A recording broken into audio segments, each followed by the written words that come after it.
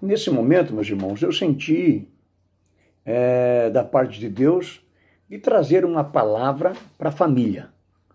Famílias que nesses últimos dias estão sendo tão atacadas, tão agredidas, né? pela televisão, enfim, por todos os meios de comunicação, é, são contrariados à família. O diabo odeia a família, né? porque Deus foi que constituiu a família. Eu quero vos trazer uma rápida palavra aqui sobre o tema Salve a sua família, tá certo?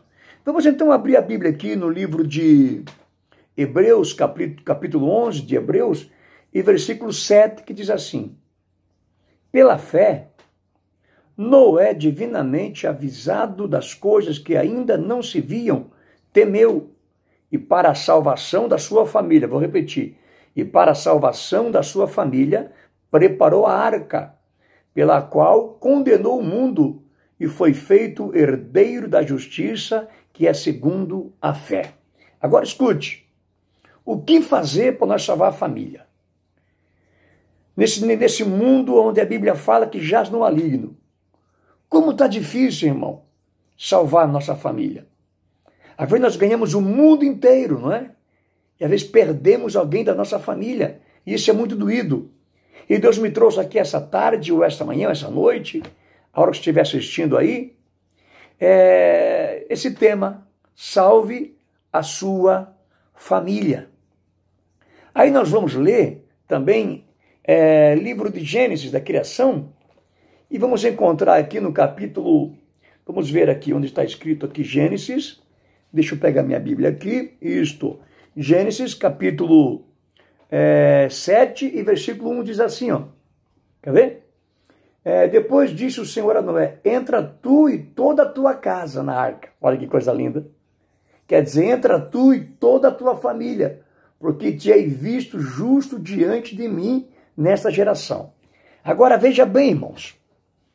A arca foi o escape para a família de Noé. A arca hoje é o escape para nossas famílias. Mas, pastor, não temos mais arca. Temos. A arca hoje é a igreja, a casa de Deus, a casa de oração. Ali é onde as pessoas são guardadas. Vocês podem ver que quando é, Noé entrou com a sua família na arca, né? E os animais também que Deus é, é, conduziu até a arca. A Bíblia fala que eles ficaram ali muitos dias. Muitos dias. É? Muitos e muitos dias. O que me chama atenção hoje aqui é que na arca tinha animais, sim ou não? Tinha pássaros. E eles ficaram todos esses dias, irmãos, ali dentro daquela arca sem saber, sem saber aonde iam estacionar aquela arca, aonde aquela arca ia parar. Só que aquela arca não tinha motor, não tinha leme, Deus estava guiando a arca. Pois hoje a igreja, que é chamada Arca do Senhor, ela só tem um dono, que é Deus que está conduzindo ela. Apesar de ter muita gente querendo ser dono da igreja, ela só tem um dono. Jesus disse: é a minha igreja. E as portas do inferno não prevalecerão contra ela. Então é o seguinte, agora preste atenção comigo. Os detalhes que, que, que não está escrito na, na, na palavra, mas a, a mente da gente viaja. 40 dias você dentro de uma arca, com a sua família, a água ao redor e os animais ali, Dentro da arca tinha é, é, é, urina de animais. Sim ou não? Os animais urinavam ali, eles tinham que estar limpando, defecavam ali. O fedor era muito grande naquela arca. Certamente os filhos, as noras de Noé, diziam: Não, não dá para ficar aqui dentro mais, ninguém aguenta esse fedor. Aí Noé falava: Filho, se aqui dentro da arca está ruim, imagina ali fora. Aqui nós estamos salvos, com todo esse fedor. Mas ali fora estão morrendo. É melhor aguentar esse fedor aqui dentro do que morrer ali fora. A igreja chamada arca hoje é assim. Dentro da igreja nós temos que conviver com o invejoso, com o mal pagador, sim, com, com, com a pessoa que não perdoa, tá certo? Com o mentiroso, às vezes com o adúltero, estão ali, estão ali. E, e muitas pessoas falam, ah, vou sair dessa igreja porque essa igreja é assim, tem Irmão, não adianta. É melhor nós ficar dentro da arca com o fedor. É melhor nós ficar dentro da casa de Deus com essas pessoas, tá certo?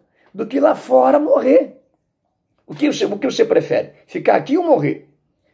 O, o, o maior pregador da Bíblia para mim, eu sempre falo, é Noé. Salvou a família dele. Irmão, é melhor nós salvar nossa família. Se preocupe com a sua família. Se preocupe com o seu casamento, com seus filhos, seus netos, seus parentes. Se Deus quiser, irmão, e nos der graça, se nós conseguir colocar nossa família dentro da arca, vai ser uma bênção no mundo conturbado que estamos vivendo. Entendeu? Salvar a nossa família.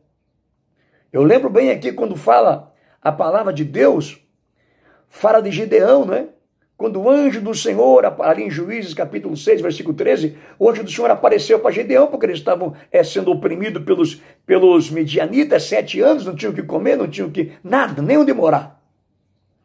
Aí o anjo do Senhor apareceu para Gedeão e falou: Homem muito valoroso, o Senhor é contigo. Aí Gedeão disse: Peraí, peraí, o Senhor é comigo?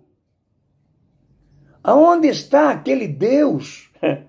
Onde está aquele Deus que meus pais contavam, que abriu o mar vermelho, que eles passaram, foram libertos do Egito, que Deus mandou maná, que, que a roupa não envelhecia, que a sandália é, não estragava. Cadê esse Deus que mandava maná, que mandava comida? Cadê esse Deus?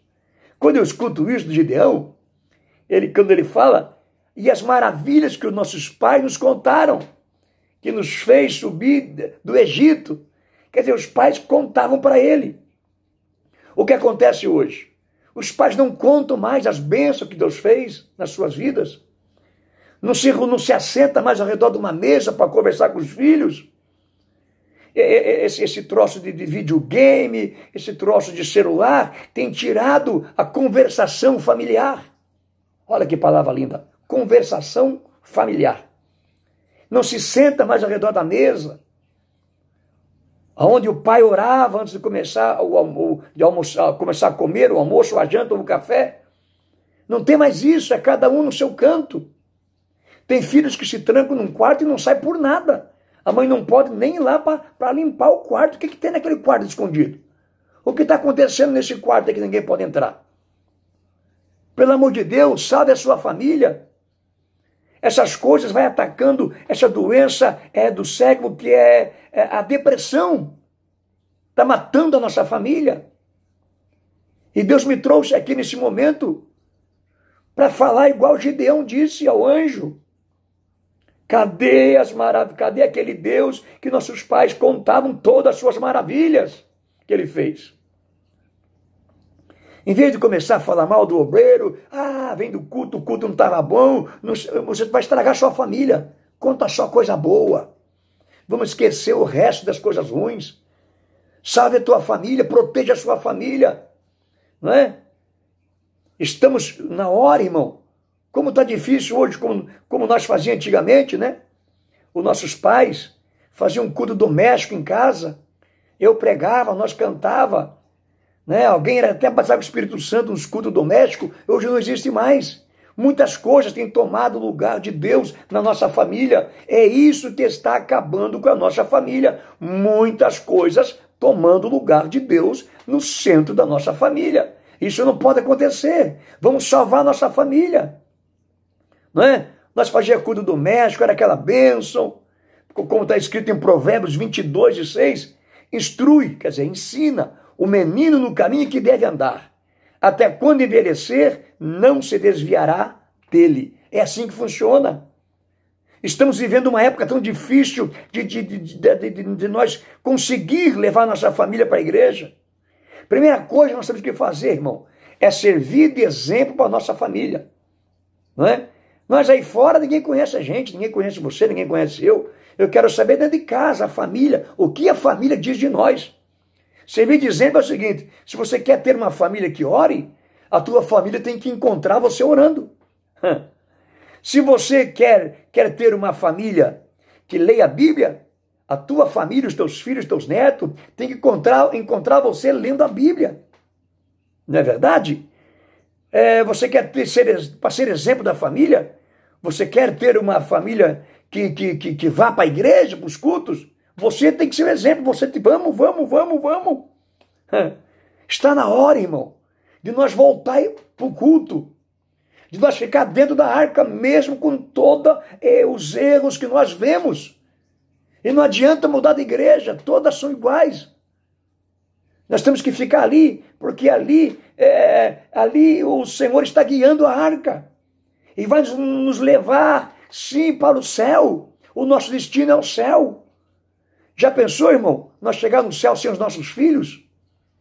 Nós chegar no céu sem os nossos netos, sem os nossos parentes? Irmão, salve a sua família, salve a sua casa, salve o seu casamento. É uma rápida palavra aqui, né, de uns 15 minutos, 10 minutos, 15 minutos, para a família. Deus me colocou aqui com desejo de falar: salve a tua família, custe o que custar. Vamos colocar nossa família dentro da arca. Vamos entronizar, ou melhor, colocar a nossa família no seio da arca. A arca hoje é a igreja. Aleluia. Muitas mães desesperadas, muitos pais desesperados, filho nas drogas, filho que não quer saber de igreja, não quer saber de Jesus, mas lute por ele. Brigue por ele. Aleluia. Brigue pela sua família. A família ainda é tudo em uma casa. Eu vou orar por você. Eu vou orar pela sua família. Sim, salve a sua família. Meu Deus e meu Pai, eu estou na tua presença nesse momento, pedindo que o Senhor salve a nossa família. Não deixa nós entrar na arca sozinhos, Senhor, mas que entramos com todos, todos os componentes da nossa família, da nossa casa. Senhor, estamos dentro da arca mesmo com sujeira, mesmo com animal, Senhor. Mas estamos aqui esperando o Senhor nos levar até o paraíso, o céu. Abençoa as famílias agora. Aquela mãe, aquele pai que tem um filho nas drogas, desviado, um familiar que está preso, Senhor, outras que está acamado, faz um milagre agora, salve a família, salve, Senhor, a família do teu filho, da tua serva, eu te peço nesse momento, entra com providência, Senhor, para salvar a família, Senhor, não deixa a família, é, Senhor, perder o céu, mas que possamos entrar no céu com a nossa família, eu te peço em nome de Jesus, amém. Deus abençoe você Deus abençoe a tua família. Deus abençoe a nossa família.